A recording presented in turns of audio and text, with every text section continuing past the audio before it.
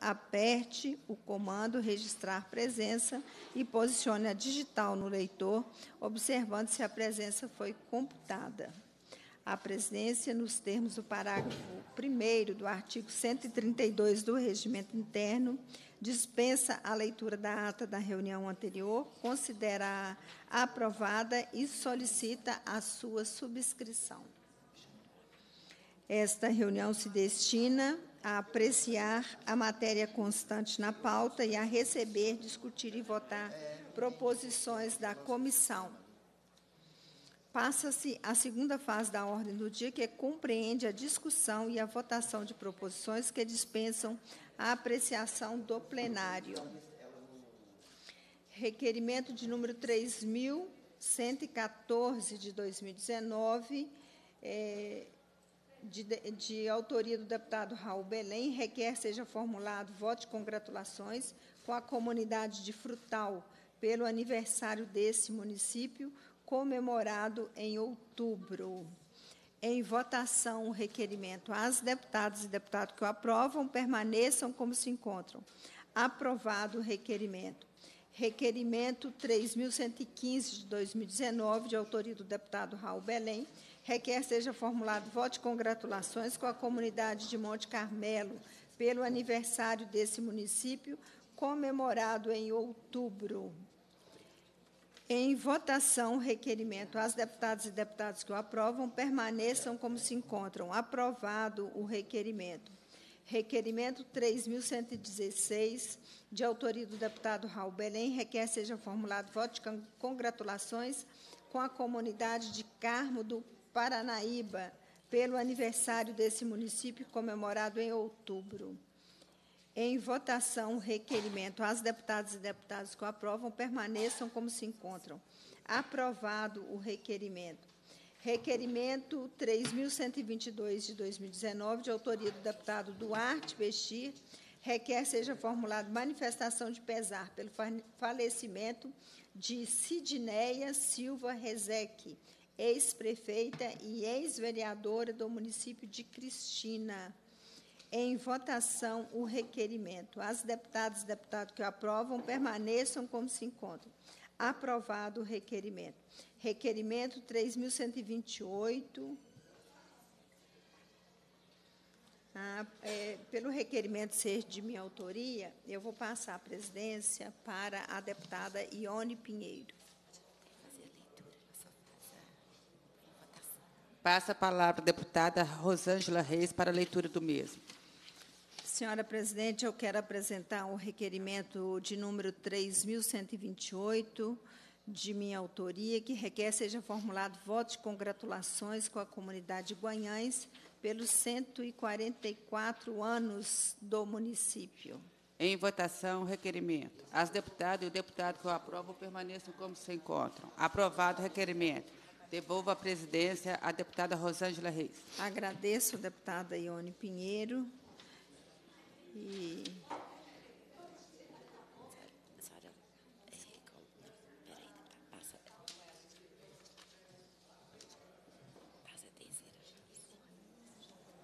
passa-se a terceira fase da ordem do dia, que compreende o recebimento, a discussão e a votação de proposição da comissão. Sobre a mesa, requerimento da deputada Marília Campos e do deputado professor Irineu. Pela ordem, presidente, para discutir.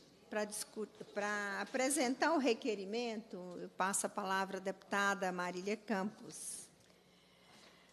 senhora presidenta Rosângela Reis, deputada Ione, deputado Irineu, nós estamos apresentando uma, um requerimento, senhora presidenta, para fazer um debate, uma audiência pública para discutir um assunto muito importante que envolve a cidade de Contagem. E antes de submeter o requerimento em votação, eu queria brevemente, em algumas palavras, expor o seguinte: nós temos uma experiência de grande êxito em Contagem, que foi é, em, em gestões anteriores, me parece que na época do prefeito Ademir Lucas, então, cerca de mais de 20 anos atrás, foi organizada a economia informal.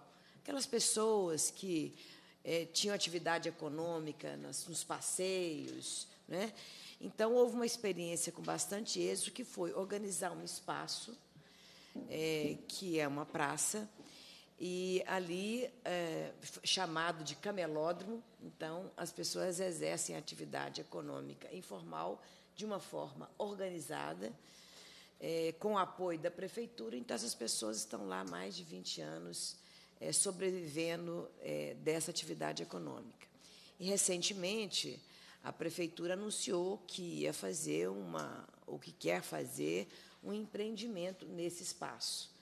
Inclusive, um espaço que foi motivo de litígio, litígio porque era um espaço privado é, e houve uma negociação, não sei bem ao certo, porque isso não foi bastante divulgado, mas agora é um espaço público.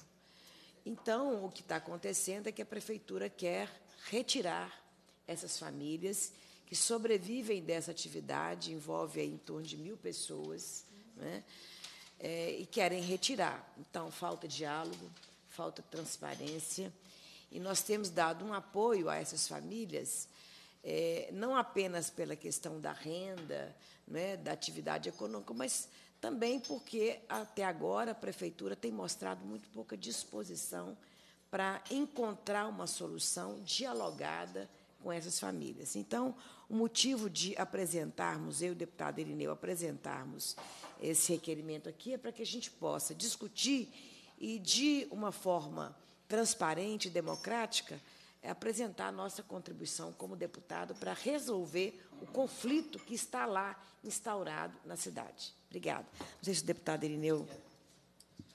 Com a palavra o deputado Irineu.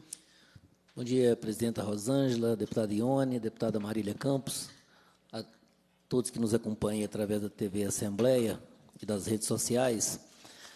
Olha, presidenta, esse requerimento ele é de fundamental importância porque trata de, numa época de grande desemprego, da gente colocar mais, mais mil famílias desempregadas. É uma política da Prefeitura de Contagem que vem na contramão da história, todos tentando contribuir para a empregabilidade e o prefeito de Contagem, na sua falta de sensibilidade, quer colocar as pessoas na rua. Então, minimamente, o que nós, eu, mas a deputada Marília, estão tentando é buscar um entendimento, buscar um consenso. Se isso tiver de ser feito, que seja feito de maneira gradativa, que seja feito de maneira organizada, não desta forma truculenta de alguns secretários municipais ter a coragem de falar que vai passar o trator em cima das pessoas. Nós não estamos vivendo mais naquela época de 30, 40 anos atrás. E esta feira, esse camelódromo, ele é ele é aprovado por lei municipal como um patrimônio cultural da cidade. Então nós não podemos permitir que a prefeitura, sem dialogar, trata as pessoas, trata o ser humano e aquelas pessoas que trabalham desta desta forma. Então acho que é muito bem-vindo, viu, Marília, essa essa audiência que a gente está propondo aqui, para que, primeiro, as pessoas venham desarmadas para esse encontro, para poder buscar a solução. Acho que tudo na vida tem jeito de ser resolvido, basta ter diálogo. Eu acho que é o que está faltando é isso, e nós, aqui na Assembleia, estamos propondo exatamente fazer esse diálogo com a com os trabalhadores, com o pessoal que vive daquilo ali, com aquelas famílias que dependem daquilo para sobreviver, que só tem aquilo, não tem mais nada, se sair dali não tem para onde ir, né? E que a prefeitura tenha sensibilidade no momento de tanta dificuldade, de tanto desemprego, para poder achar esse caminho, achar essa solução. Então é isso, por isso que a gente está aqui hoje pedindo à presidente que faça aprovação desse requerimento. Em votação, requerimento. As deputadas e deputados que o aprovam permaneçam como se encontram. Aprovado o requerimento. Presidenta, é, eu só pediria que a gente tivesse agilidade na marcação, porque é, existe uma pressão, primeiro uma disputa jurídica, liminar para cá, liminar para lá, então tem uma, uma disputa jurídica muito grande. Existe também uma pressão psicológica. Ontem, o camelódromo foi ocupado pela Guarda Municipal, por procuradores, então, um processo de pressão psicológica muito grande. E para que a gente evite os radicalismos de uma parte e de outro, evitar o confronto, seria muito importante que a gente agilizasse esse processo para que a gente pudesse contribuir para fortalecer, encontrar uma saída através do diálogo. Obrigada. Está bem, deputada. Vamos verificar aí o calendário de reuniões para que nós possamos aí fazer essa agenda, se possível, mais breve.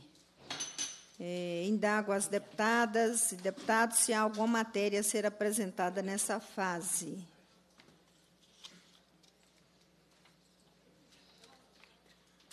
Cumprida a finalidade da reunião, a presidência agradece a presença dos parlamentares, convoca os membros para a próxima reunião ordinária, determina a lavratura da ata e encerra os trabalhos. Obrigada, Marília.